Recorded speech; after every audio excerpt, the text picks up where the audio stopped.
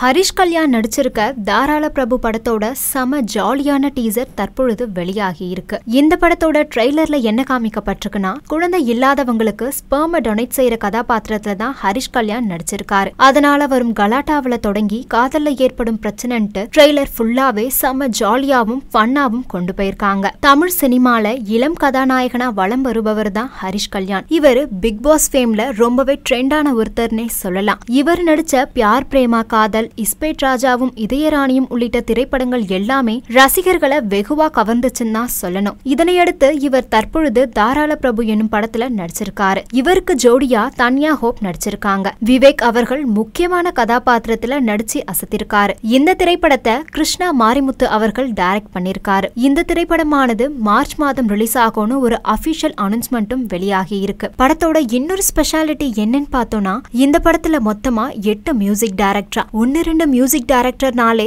Music எல்லாமே தாறுமாறா இருக்கும். இதுல வேற எட்டு மியூசிக் டைரக்டர் சொல்லிருக்காங்க. சோ மியூசிக் சும்மா அசத்தலா இருக்கும் தான் சொல்லணும். இந்த படத்தோட ஃபர்ஸ்ட் லுக் ஏற்கனவே வெளியாகி மக்கள் மத்தியில நல்ல ஒரு வரவேற்பை பெற்றது. இப்போ டீசர் ட்ரெய்லர் எல்லாமே ரிலீஸ் ஆகி ரசிகர்களை பெரிதும் கவர்ந்திருக்கு. சோ வித்தியாசமான திரைக்கதையில உருவாகி இருக்கும் தாராள பிரபு அப்படின்ற இந்த திரைப்படமானது ரிலீஸ் ஆனதுக்கு அப்புறம் மக்கள் மத்தியில எந்த அளவு வரவேற்பை பெறப்போகுதுன்னு வெயிட் பண்ணி பார்க்கலாம்.